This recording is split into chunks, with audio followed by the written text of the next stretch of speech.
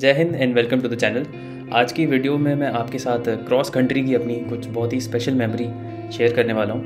And cross country जो होता है वो अकेडमी में one of the most difficult phase माना जाता है स्पेशली फॉर जूनियर कैडेट्स तो इसका रीज़न क्या है और ऐसा क्यों होता है, आपको वो भी इस वीडियो के एंड तक पता चल जाएगा.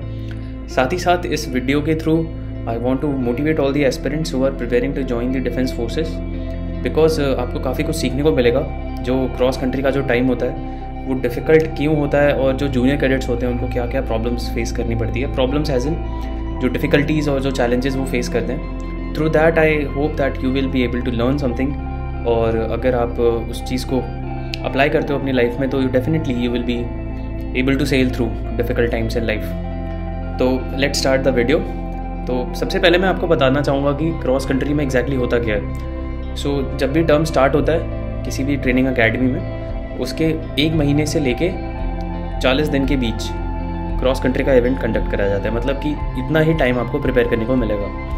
इधर you will get one month और you will get thirty five to forty days ये मैक्सिमम टाइम है। जनरली चालीस दिन ज़्यादा हो जाते हैं। So on an average thirty to thirty से थर्टी फाइव डेज़ का टाइम आपको मिलता है प्रैक्टिस के लिए। अब जो क्रॉस कंट्री प्रैक्टिस है, ये ऑफिशियली प्लान नहीं होती है। ये ऑफिशियल ट्रेनिंग में बस इसका एक कंपटीशन कराया जाएगा। ऑफिशियल कोई भी एक रूटीन नहीं आता है कि इस दिन एक स्कॉडन को ये कराना है, इस दिन कैडेट्स ये करेंगे।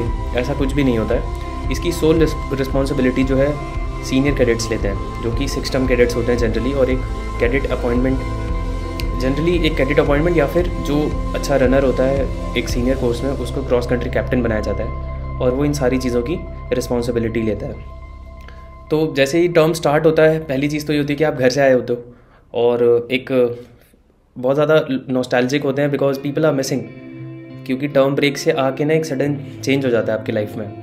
आ, थोड़ी देर दिनों पहले ही आपके पास एक फ्रीडम होता है और सडनली आपके साथ आपके साथ वो सारी चीज़ें नहीं हैं। All of a sudden you are shifted to the academy and the environment is totally different आप कब उठ रहे हो? आपको जल्दी उठना पड़ेगा ठीक है? और सोने को क्या मिले क्या ना मिले नो बडी नोज़ साथ ही साथ बहुत सारी चीज़ें एक ही साथ शुरू हो जाती हैं तो एक सडन स्विच होता है। जैसे कि लाइफ अभी फ़र्स्ट गियर में चल रही है और जैसे अकेडमी जाते हो स्टार्टिंग का जो टर्म होता है तो वो सीधे ही फिफ्थ गियर में हो जाती है। इतना ड्रास्टिक चेंज होता है so it becomes difficult specially जो जूनियर कैडेट्स हैं, जो पहली बार टर्म ब्रेक से घर वापस आते हैं तो अकेडमी वो बहुत ज़्यादा मिस करते हैं अपने फ्रेंड्स एंड फैमिलीज़ को। तो इसलिए थोड़ा सा डिफ़िकल्ट होता है। अब मैं आपको थोड़ा सा शेड्यूल का आइडिया देता हूँ कि होता क्या है। तो जैसा कि मैंने आपको बताया कि एक क्रॉस कंट्री कैप्टन प्लान करता है चीज़ें तो सबसे पहली चीज़ जो होती है, वो होता है अर्ली मॉर्निंग सेशंस जिसमें हम करते थे कोर वर्कआउट या फिर setups so this is not a part of training but we use to wake up early क्योंकि मेरे स्कॉडन का ट्रेडिशन था। साथ ही साथ alpha squadron echo squadron cubic squadron इन सबका ट्रेडिशन है क्रॉस कंट्री तो the squadrons are known for doing well in cross country और ये बहुत ज़्यादा एफर्ट्स लगाते हैं to do well and prove their medal in the competition तो हम सबसे पहले सुबह फोर फोर थर्टी उठ के सेटअप्स करते थे एक डेढ़ घंटे पहले। ये मॉर्निंग में हम एक्स्ट्रा करते थे, इसके बाद हमारी पी टी ड्रिल होती थी। तो इसको इंश्योर करने की रिस्पॉन्सिबिलिटीज़ भी अगेन डिस्ट्रीब्यूटेड थी। फोर्थ टर्मस इंश्योर करेंगे junior first second and third terms का। और बाकी सीनियर जो है वो खुद ही आ जाते थे।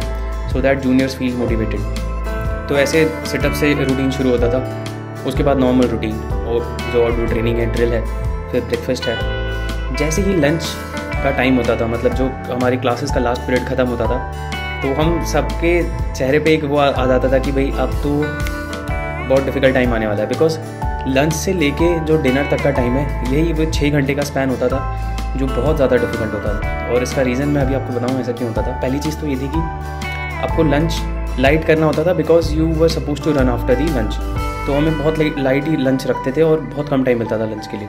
और भूख तो ऑब्वियसली लगेगी बिकॉज़ आप सुबह से ऑलरेडी इतने टाइम से उठे हुए हो, आपने इतनी सारी एक्टिविटीज़ कर ली है तो भूख बहुत ज़्यादा रहती थी बट आप खाते कम हो। थोड़ा सा कम खाते हो because you have to run और जैसे ही लंच से आके फॉलन होता था, उसके बाद हम चले जाते थे क्रॉस कंट्री रन के लिए।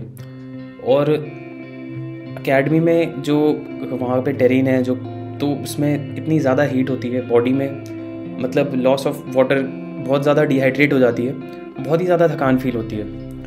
तो रूट्स भी हमारे ऐसे प्लान होते थे कि आज इंड्योरेंस रन है तो हम 20-22 किलोमीटर भाग रहे हैं, कभी टेंपो रन है तो पाँच सात किलोमीटर भाग रहे हैं, कभी रूट भाग रहे हैं तो तेरह चौदह किलोमीटर भाग रहे हैं। Every day we use to run every day Sunday को हमारा टाइम रूट होता था। टाइम रूट में जिस रूट पे हमारा फाइनल रन होगा, उसकी हम टाइमिंग लेते थे। और उसके एक दिन पहले हमें थोड़ा सा रेस्ट मिलता था कि उस दिन शॉर्ट डेढ़ दो किलोमीटर भाग के हम बस स्ट्रेचिंग कर लेते थे।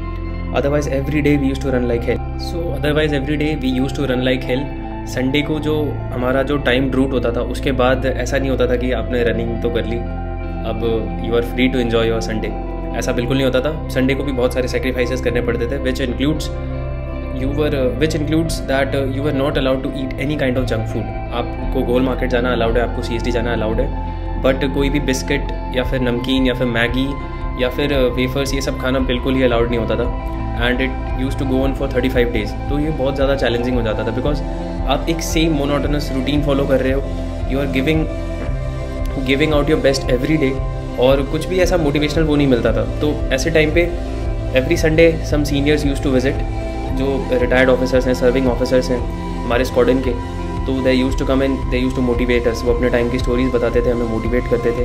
They use to bring something for every one so ये चीज़ें बहुत ज़्यादा मोटिवेट करती थी. अब अब मैं बात करता हूँ जो टाइम रूट होता था, उसके बाद की क्या कार्रवाई होती थी. तो टाइम रूट में अगर आपने इंप्रूवमेंट दिखाया है, पहली बात तो ये कि आपका पोटेंशियल पता होता था कि जो अच्छा रनर है ही वो suppose to come in some sort of time ठीक है? जैसे कि किसी को आना है तो 55 मिनट के अंदर आना है if he is a good runner और decent average runner if someone is aiming for first enclosure जो बहुत ही अच्छा करना चाहता है, या फिर someone is aiming for medal so he should aim to come in less than 50 minutes 15 minutes for 13 and 13.8 kilometres तो ये टाइम ऐसे रहता था. बट अगर आपने डिप्रूव कर दिया तो संडे का जो बचा हुआ फ्री टाइम जिसे हम बोलते थे कि today you have free time वो आपको नहीं मिल सकता. Now you will have to pay for it तो कुछ भी कुछ भी कार्रवाई चलती है अकेडमी की कार्रवाई वो होनी चाहिए। I will not talk much about it वैसे मैंने भी काफ़ी बार उस कार्रवाई का फाट रहा हूँ मैं अपने थर्ड टर्म में। एंड इट वॉज़ अभी when I look back it just makes me smile क्योंकि वो टाइम याद आ जाता है। तो उस टाइम पे तो बहुत ज़्यादा हालत ख़राब हो जाती है, क्योंकि आप ऑलरेडी पूरे वीक पूरे मंथ इतना कुछ एग्जर्ट कर चुके हो, कुछ भी बचा नहीं है बॉडी में still you are getting punished एक ही होप रहती थी जो हमें बचाती थी, वो ये था कि संडे को भाई मूवी जाना है। So I was lucky enough to get India as my squadron और every Sunday we use to get this chance we not use to get this chance we were suppose to go to movie if we miss a movie then life will become help तो ऐसा ही था कि अगर movie miss कर दी तो कोई भी नहीं बचा सकता। चाहे ब्रह्मा आना है तो मैं नहीं बचा सकते। सो so, एक मोटिवेशन रहता था कि भाई चलो ठीक है आज का रूट भागना है अच्छा करना है और चाहे जो भी हो मूवी का टाइम तो अपना है। अगर सब कुछ अच्छा आ रहा है तो मूवी में इन्जॉय करेंगे नहीं तो मूवी में जाके सो जाएँगे। So this is how it use to go so अगर मैं इससे लेसन की बात करूँ कि कौन कौन से लेसन जो मैंने सीखे थे इस फ़ेज़ से, सबसे बड़ा लेसन जो आज तक मुझे मोटिवेट करता है, वो यही है कि टाइम कितना भी डिफ़िकल्ट हो, वो निकल जाता है। इट डजेंट मैटर कि आज आपके साथ कैसी सिचुएशंस हैं।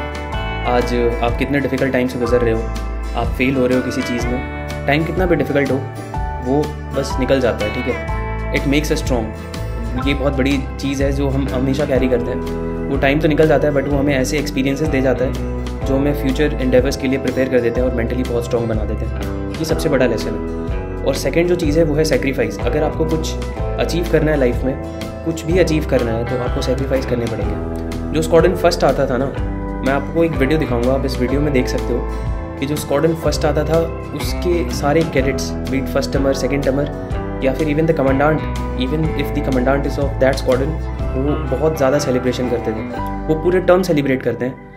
And they use to call themselves as the बाप ऑफ़ अकेडमी वो हर अकेडमी के, हर एक स्क्वाडन के आगे जाके ऐसे चिल्लाते हैं कि अकेडमी का बाप कौन इंडियाज़ कौन इंडियाज़ कौन। तो that is how we use to celebrate क्योंकि अगर आप ऐसा इवेंट जीतते हो जिसमें कि अगर नब्बे लोग भाग रहे हैं ना if ninety people are running even one of them shams out in the route your squadron will not be able to lift up the glider तो ग्लाइडर जो है क्रॉस कंट्री चैंपियनशिप की ट्रॉफी को बोलते हैं, जो कि मैं आपको दिखा सकता हूँ। तो ये है ग्लाइडर और इसको जीतने के लिए आपको खून पसीना सब बहाना पड़ता है। और that too for thirty five thirty two thirty five days continuously तभी आप ये जीत सकते हो। और ये टीम एफर्ट होता है। इसको इसीलिए क्रॉस कंट्री को मदर ऑफ़ ऑल इवेंट्स बोलते हैं। So I hope you learn something from this video and thank you so much for loving my content जय हिंद एंड टेक केयर